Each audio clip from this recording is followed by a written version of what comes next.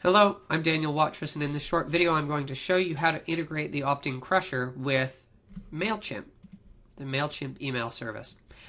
So let's start off by looking at the opt-in crusher. When you log into your blog, this is the dashboard, and you want to go down to your settings menu and click on opt-in crusher. Scroll down until you get to the area that says opt-in form details and you'll see that there's an area where you paste the form generated by MailChimp and a big process form button. So now we go over to MailChimp, and after you log in, you see your dashboard, and what you want to do is click the Lists tab. From the Lists tab, you see a, a listing of each of your email lists, and for each of those, there will be a link that says Forms. So next to the list that you want people to sign up on from your opt-in crusher footer, you click on the forms link and then right up at the top link to subscribe form or create embed code for small form.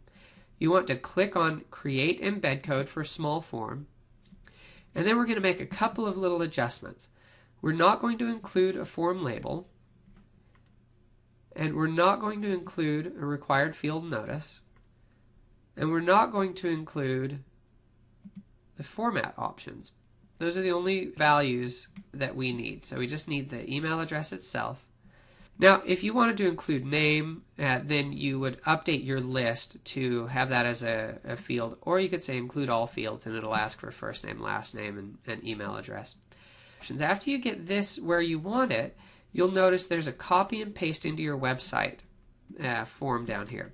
So what you want to do is select everything in this box and copy it and come over and simply paste it into this field where it says paste your opt-in form.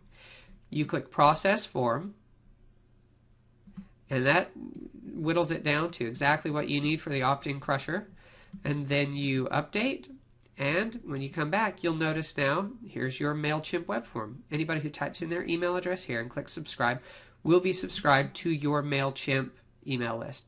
Hopefully that was helpful. Thanks.